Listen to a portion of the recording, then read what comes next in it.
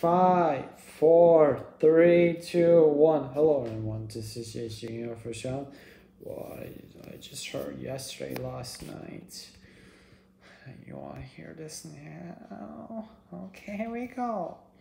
The Pepsi company, well, they fish, they make the official launching a alcohol base, alcohol basis of Mountain.